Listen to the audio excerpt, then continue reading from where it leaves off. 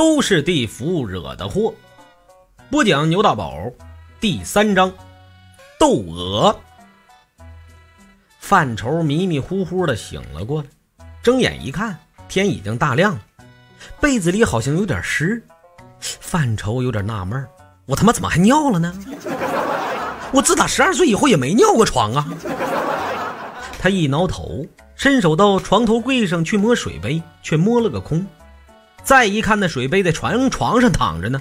他瞪大了眼睛，把手伸进了被窝一摸，然后放在鼻子下一闻，这心才放了下来。还好不是尿，原来是水洒了。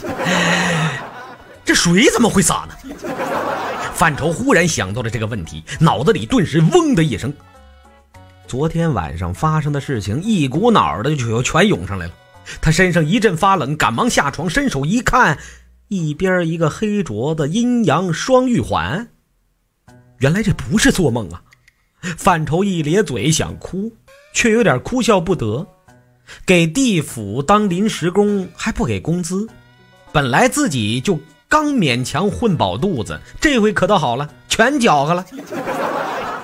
左手的阴玉环突然嗡的震动了一下，接着发出叮的一声提示音，一串文字就出现在了范畴的心里。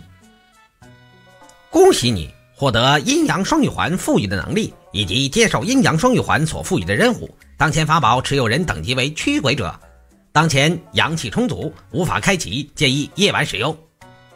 我操，白天还不让使？啊？哎，这果然是个阴间的玩意儿啊！我这回是真的倒了八辈子霉了。啊，对了对了，还有一个黑碗叫什么如意金钵的。范畴摸了摸了怀里呀，果然有个碗，掏出来看了看，觉得也没什么特别的。什么如意金钵嘛，这就是一个小黑碗嘛。他叹了口气，把东西都收了起来，觉得有点饿了。起来一看，冰箱里那半拉猪蹄子还在，也不管好赖，拿出来三下五除二就给啃了。然后就往常一样走到电脑桌前，打开了电脑，一屁股坐了下来，先点了支烟，就准备开始码字。他最近正在写一个短篇鬼故事，叫做《植物大战僵尸》，说的是一个农家院里来了个僵尸，主角用各种植物打败僵尸的故事。不过已经修改了三次，却还是没能入这个人家杂志社的法眼。如果再找不到灵感，恐怕呀就要弃稿重新构思了。呆呆的坐了小半天啊，这烟灰都快赶上手指头长了，连一个字都没憋出来呢。满脑袋都是昨天晚上的事儿，阴曹地府、陆判官、阎王爷小舅子那一地狱的鬼，我去他妈的，我实在写不下去了。昨天晚上没睡好觉，我干脆继续睡吧。范畴呢，泡了碗面，稀里糊涂的吃了下了肚，往肚子上一挑呢，俩眼睛一闭，什么都不想了。当他再醒来的时候啊，天就已经黑了。那范畴醒过来，下意识的就去摸手机，想看看几点了，结果却摸了个空。一愣，这才想起来，手机让阎王爷小舅子给拿走了，这可怎么办呢？那山寨苹果是范畴除了电脑外第二个值钱的家用电器了。正在他挠头的时候呢，阎王爷小舅子催命来了。你这名叫的真别扭，再配上后面那俩字就更别扭。催命来了。不过范畴一见他，顿时眼睛一亮。哎，把手机给我！范畴直接把手杵到了崔命鼻梁子上，手机没收了。崔命一副理所当然的样子，一屁股坐在了沙发上。凭什么？我就这一个手机。再说你要它有啥用啊？你在阴间也打不了电话呀。想了想，范畴又补充了一句：“你们阴间也没 WiFi 呀。”谁知崔命一梗脖子：“你少糊弄我了呀！这玩意还能玩游戏呢。昨天我看你玩了半宿呢。”我了个操！范畴心说：“难怪那功夫觉得身边那么冷呢，感情是这位爷在偷看自己玩游戏。那你会不会？那你也不会玩吧？谁说的呀？我都开会了。”崔命神秘的嘿嘿一笑，掏出了范畴的山寨大苹果，三下两下就摁出了游戏。范畴凑过去一看，《植物大战僵尸》。看着昨天还不认识手机的崔命，已经重新建了个号，甚至已经过了十多关了。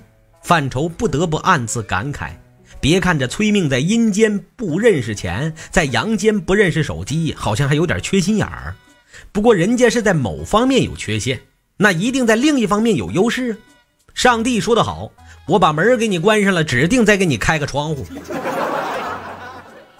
哎那好吧，手机我不要了，你把卡还给我行吗？崔命这回一点都不傻，只要他不耽误玩游戏就行了。玩游戏不用卡，哎，那就行了。哎，那什么，我走了啊。崔命玩着游戏就要走，范畴一把就拉住了他。哎，我说崔哥，你不是特意来跟我说手机的事吧？另一边的任务呢？哦啊，对对对对，我差点给忘了。我把另一边的任务告诉你，你可听好了啊！我得快点说，要不我也忘了。崔命像是一个严重健忘症的患者，歪着个脖子想了半天，才说出了另一半的任务。原来啊，陆判官掌管的小地狱里跑了大半的鬼，但是也有几个没跑的。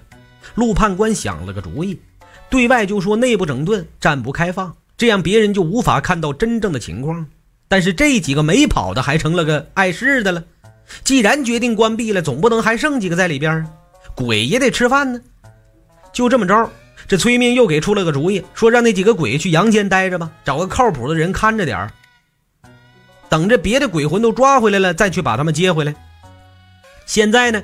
这个听上去极其不靠谱的活儿就落在了范畴身上了，那就是让那几个鬼在范畴家里待一年。崔命一口气说完，范畴一把就揪住他的衣服，愤愤地说着：“我操，不是吧？你意思让那几个鬼上我这待着？你让我在家里养鬼玩？还好几个？大哥，你啥也别说了啊！我不干了还不行吗？除了上个月的稿费我没花光，我也没啥遗憾了。我求求你，快整死我吧！然后呢？”随便安排一个地狱，啥时候能投胎？你告诉我一声就行。崔命连连摆手，你看你别激动吗？你以为下地狱好玩呢？那剖腹挖心、割耳朵、削耳朵，上完了刀山还得下油锅呢。下油锅知道不？就跟你们人类炸油条差不多的，炸的是焦黄焦黄的，又酥又脆。再把你搁那磨盘上一磨，磨的稀碎稀碎的，再撒到河里边喂王八。等王八拉出来了，好歹。得捡到一块再恢复人形，继续炸。范畴扶着墙一阵干呕。崔哥，你别说了，我我服了。你上刀刀山下油锅我都能忍，你让王八拉出来这个太恶心了。那你说吧，那几个鬼魂啥时候领来？我给他们准备房间。崔命一脸猥琐的乐了，从身后一把拉出了一个白衣女子来说道：“哎，这就是你的第一个客户，窦娥。”好了，以上就是我为大家播讲的《都是地府惹的祸》的第三章，感谢各位的收听。